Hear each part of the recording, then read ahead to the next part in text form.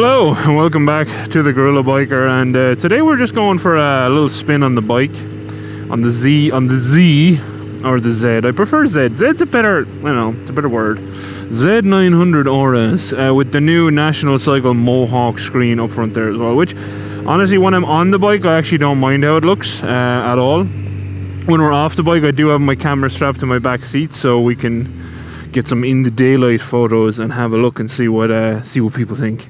I've got some some interesting comments. Some of them pretty, some of them kind of rude. but you know, it's the internet, so uh, you kind of have to expect that when you put yourself out there a little bit. Uh, we're heading towards a place called Wendell or Wendell. However, I think people pronounce it Wendell, but it, I mean it's pronounced it's spelled Wendell. So whichever whichever way you want to say it, I'm not a I'm not a pronunciation expert, as I'm sure a lot of people know. Um, but yes, we're going to be just testing this screen as we as we and I'll tell you it already it, it, it definitely makes a difference on my chest, like a pretty pretty sizable one. Um, but we'll see at more speed when we get past this truck and whatnot. Um, and then also we're going to be talking about you know why why why tune a bike, why flash a bike. Um, obviously, you can get a bike dyno tuned, uh, which if you have the money um, and the available expertise in your area to do that. I would always recommend that. I think it's a better option than uh, flashing. But if you do not have the option of dyno tuning, why why flash on a modern on a modern bike? Um, and we'll go through that as as as well.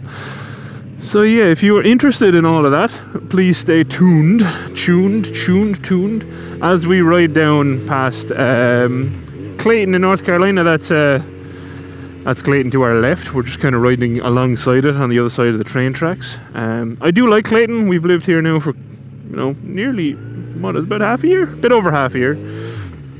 Since September. And I do like the place. It's quite nice. Oh, truck, why are you going the way I'm going? Jeez. Oh, they're going left. Sweet. I see more cars. We're, we're getting stuck either way. It's a... Uh, it's a weekend and Americans do love driving. It's not like uh, it's not like at home where you'd get a little bit more. You know, people people tended to not drive as much on the weekends because I don't think Irish people like driving as much as Americans. Also, you kind of have to drive literally everywhere in America. It's just it's just part of it. But yes, um, so obviously we'll talk about the screen at the end and how I how I found it. This is my first big ride out on it. I did a little one or two like kind of little runs on it to make sure it was okay and it, everything looked fine so but this is the first uh, bigger bigger run. So why did I tune this bike? Um, so first a little bit of a background on how bikes work right? Obviously as you all probably know uh, motorcycles now and cars have to go through emissions testing from from factory and they get type approval. Um, so what you often get is you get a, a, a not optimized you know power curve or fueling um, for the road, it's more optimized for, for emissions, and that is because the emissions take place at, at a certain RPM range. I don't know it off the top of my head for every vehicle. Um, obviously, it does differ depending on your max RPM, I think, is, is how it works, or depending on your engine configuration, engine displacement, yada yada yada. So, uh, generally, there is a, a, hole in fueling just. Uh, just where it needs to be for, for emissions and sometimes you actually get like uh, vehicles that run rich because some vehicles can run better an, from an emission standpoint uh, if they're a little bit richer which obviously brings its own host of issues um, if, if that is the case. But that's why you would tune because most vehicles bikes especially uh, all tend to come a little bit lean from factory um, which obviously is not ideal especially if you make some modifications like I did. I did headers on this I did a K&N air filter blah blah blah. Um, and what that would do is in in a in a normal sense it would actually lean out your your your vehicle's fueling more uh, because you're making it easier for the vehicle to breathe. Therefore the engine can get more air faster. Um, and it you know there is obviously an, an accounting to be done there for fueling but in general um, the base map will only will only compensate so much. And you know then there's also things like again for for fuel economy and whatnot manufacturers will have it. So this bike did have a complete fuel cut off throttle. So if I like, and then I roll back on, it was very jerky back onto the throttle. Whereas now it's it's very nice. And even though the chain is, is a bit older, chain needs changing, it's still like 900 times better than stock. So why you would tune generally is if you've made some modifications. That's why you'd want to look at it. Um, or if your your your vehicle's drivability, rideability is kind of compromised from factory because of decisions they made for fuel economy or any number of other things. Um, you know, like uh, the AES, the, is it AES, air, air, AIS, the air induction system valves that inject, you know, air back into the into the exhaust to kind of burn off extra fuel or whatever else. But it, it then makes stuff pop. So, you know, there's there's there really is a a world of reasons why you would make X X Y Z changes. I'm really sorry. I thought there'd be less traffic on this road. But alas, I was incorrect. Still, it's a good test for the screen. Uh, definitely a lot less wind on my chest, like way less wind on my chest. And we're at, what, 55 miles an hour right now, roughly?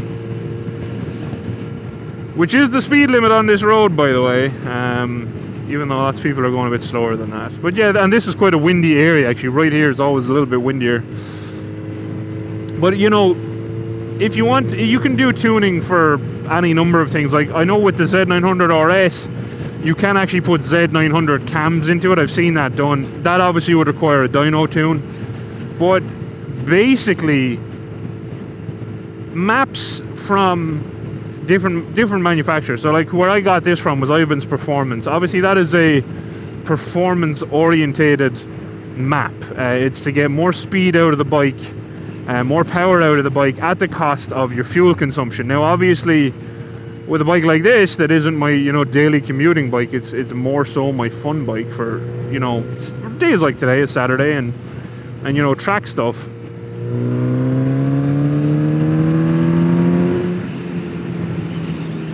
That is why I got this one uh, tuned because I didn't really care about the fuel economy. Whereas with the the V-Strom there's only so much I would ever do with that, and um, you know, at, at some point I might I might tune the V-Strom as well, just because I'd be interested what you can actually get out of it. But obviously the gains aren't going to be anything like on this one because I wouldn't want to sacrifice too much of the you know the daily fuel economy and whatnot uh, from the V-Strom. V-Strom rides great actually uh, as it is. It probably could use a tune though because it does have a K&N air filter and it does have a slip-on so I'm sure it would help it um, from a longevity point of view as well because that's that's the other thing if your bike runs lean or rich it does over you know over the grand scheme of things it will affect your oh spicy it will affect your bike's longevity this road looks nice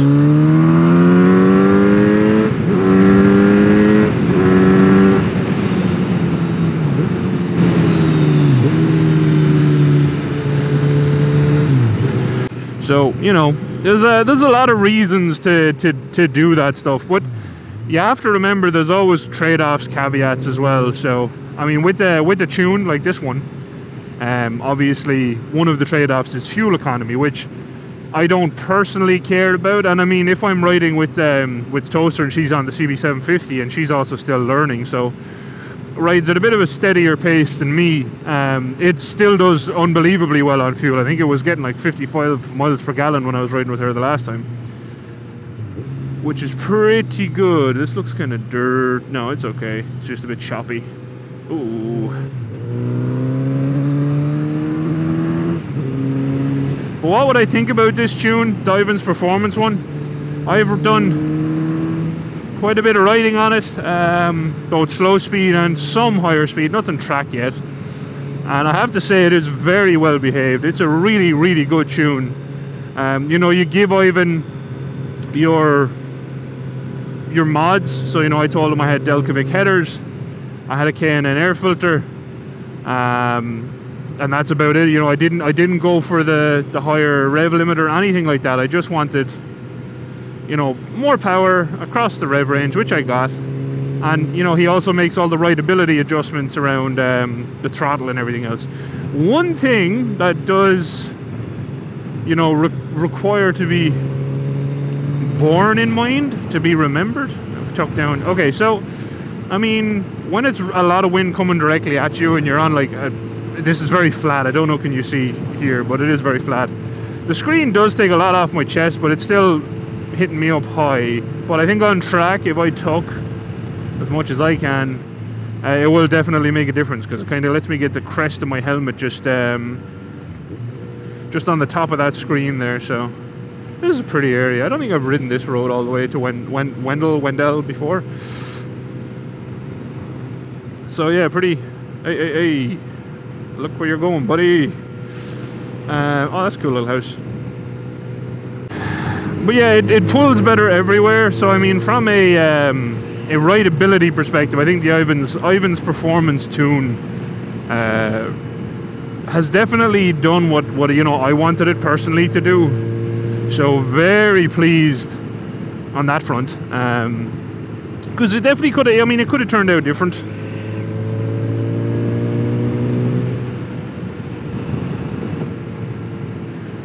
I think this screen would be great for someone just a little bit shorter than me. It's although it's not you know it's not hitting me under my neck, so it actually is pretty much perfect for ooh more spicy, spicy road stripped.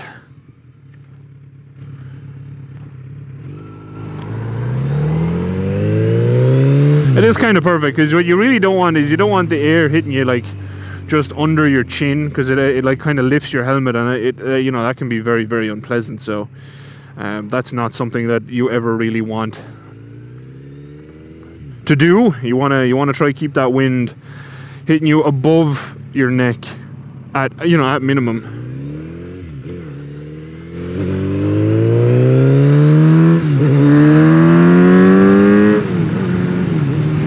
This bike is very fast now. Um, and I haven't, you know, obviously on public roads, there's only so much I can get on it, but it is it is very very fast. And i love you know another thing that i really like about it is you know the fact that that ivan has options for several different exhausts. I mean ivan's performance and i don't want to understate how much work uh, that man or his team i suppose has put into you know these these tunes because they obviously had to have a z900 rs they obviously had to you know do all these runs on a rolling road themselves. He has all the um, he has all the maps or the results from the different maps uh, on his website and whatnot. It's really, really impressive. And so far, I mean, I've only put a couple hundred miles on the bike since uh, installing everything.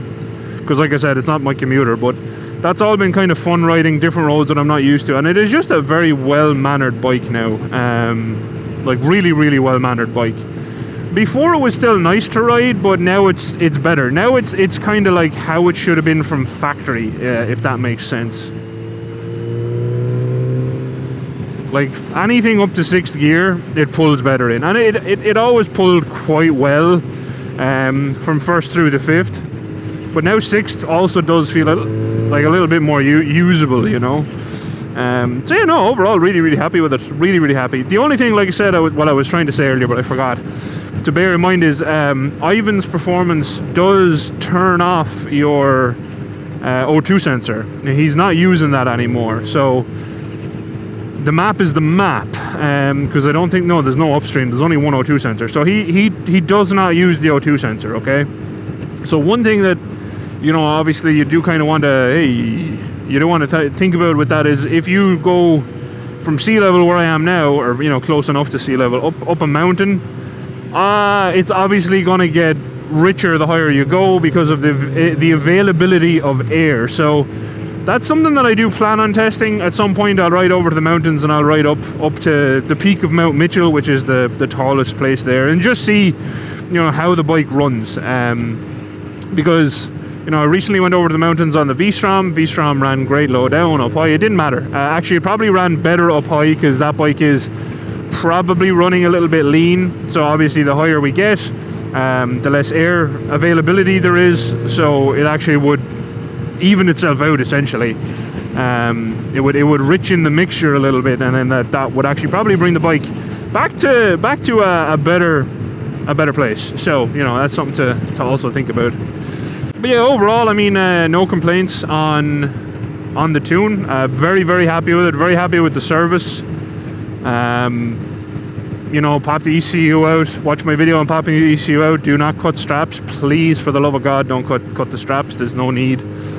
Um, you know, the turnaround was like when he got it, he was he shipped it back same day. So I mean, I had it back within like four days, I think it was, which is absolutely incredible. Um, and have had zero issues with it. The bike turned on, fired up. Um, everything still works. You know, uh, not that there's much to work on this, but I mean, all my my little computery bits like my range and everything else, all of those still work, which uh, which not not that I particularly care, but they are definitely uh, nice to have. So, you know, it's nice that they still work, I suppose. Um, actually, oh yeah, I forgot. The only thing I wonder, and I don't know can he change this, but it would have been nice, is um, when I turn this bike off, it keeps turning back on the traction control to, oh that's sand, to level one, which I'm not a huge fan of. Are you ready?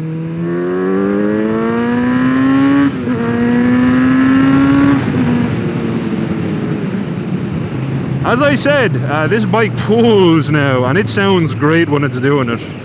Um, like that wasn't even you know full throttle. That was just just revving it, revving it up, revving it up to nine. And it, it, I mean, it likes it. There's no flat spots. It pulls, it pulls a whole wow, lady. Jeez. Oh, actually, one thing about America is these houses. You know, one of the things I used to love um, about America is like in Ireland we have pretty restrictive planning laws that you can only build X, Y, or Z. And uh, in America, you know, you have a little bit more freedom around that, which I personally love. And also, Americans, by and large, tend to have big garages, which I also love because it, it lets people have the freedom to work on stuff, to learn how to work on stuff. Um, and a lot of the new places I see being built around here are, you know, turning into houses that do not have garages, and I really hate that because uh, I think it kills it kills the ability to learn stuff. You know what I mean? I just don't like it. I think I think like these houses are well and good and all. If they were affordable, they're not affordable, uh, which is uh, you know another another issue, I suppose. Um, they're actually still really expensive. But uh, I would be much ha- like okay, single car garage. That's fine. You know what I mean? That's fine. You can you can do you can do a certain amount of work on them. Um, but then even over here, you get you get things like oh, you can't work on your own car in your garage or your driveway or whatever else for HOA insurance things, and it it it just makes me sad because you know I get asked all the time like how did you learn to do this stuff and uh, happily luckily I grew up in the country. I grew up uh, with a dad who worked in construction, so there was always a you know a workshop and tools there. And I, I am a firm believer in if people have uh, the ability to be able to learn something, um, you know, then then if they if they want to, they will. You know what I mean? If you, but if you don't have if you don't have the setup there for someone to to learn something like they if they even if they don't know they want to learn it um, they're never well they you know they can't you know what I mean? Um, like if they look at people and they're like oh I see I see for instance the gorilla biker working on his bike. That's something I'd really like to do. Um, but I live in the middle of a city in an attached house with absolutely no um, no space to you know experiment and try things. And that makes me sad um, because I do feel that you know over time, that's only going to get worse. Uh, because I mean, it's already crept in. It's already here. This house is already being built with like no ability to to do this stuff. And then you also have, you know, obviously the issues that you know, uh, insurance and whatnot. You're just not allowed. Oh, this is not an off-roading bike. it's now that it has a much stiffer suspension, it's even worse. It was already bad, but now it's worse. Uh, but you gotta get you gotta get the photos. You know, you gotta get over and away from people for the the photos. So that is what I am doing. Hopefully my camera's still there. I mean, I did a. Hey, still there. Look at that, beautiful. Um, but yeah, that, that's something that, that concerns me, makes me sad a little bit. Uh, that you know people are are losing and are going to lo- keep keep losing more the ability to learn how to do everything. For instance, that I did. You don't need much space, but you do need space. Um, if you don't have the freedom to learn this stuff, uh, it's a problem. And I don't mean you need a garage. You don't need a garage. Um, the minimum you need is like an understanding neighbor or an understanding HOA that lets you work outside. Like you get some oil on the ground. So what? You'll clean it up or you won't. I mean, everyone's obsessed with their their you know their property value. I can't have someone working outside because of my property value. It's like, have you ever tried being happy once in your life? this video is turning into something else, so I'll stop now. Um, but yeah, so basically, Ivan's performance tune. Um, am I happy with it? Absolutely. Would I recommend it? It depends on your use case.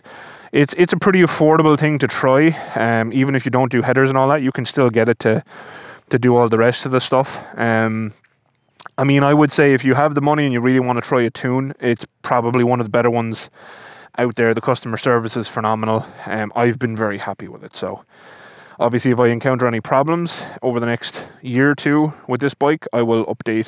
Um, I will update. I will do an update video and let everyone know. But for now, for sure, pretty happy. Pretty happy with it. And then, yeah, so this Mohawk screen. Looks wise, I'll put some photos on the screen now. I'm still unsure about it. I don't hate it, to be honest. I actually think it looks okay, out, especially out in the sunlight. Uh, and being behind it, it definitely takes wind off my chest. So, quite happy with that. Um, and, you know, people are asking why. Well, one of the reasons is tracks, track days. Um, there's a lot of air that hits me on track days because I'm long.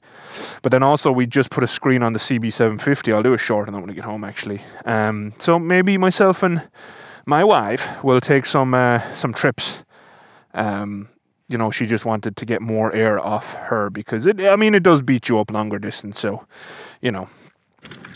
Oh, one thing I forgot to mention is I actually did this whole ride with my earplugs out to test the screen, and uh, yeah, um, it's been actually pretty reasonable noise level. So I don't think it adds like a crazy amount of noise or buffeting um, to your to your ear holes. So yeah, impressed, impressed honestly overall. Anyway, uh, that's it. If you've watched, thank you very much for watching. Um, if you have any questions on the Ivan's performance tune uh, or anything like that, please leave it down in the comments and I will get back to you and let you know. And yeah, until next time, a special thank you as always to all of my patrons. And uh, yeah, thanks for watching again. Adios.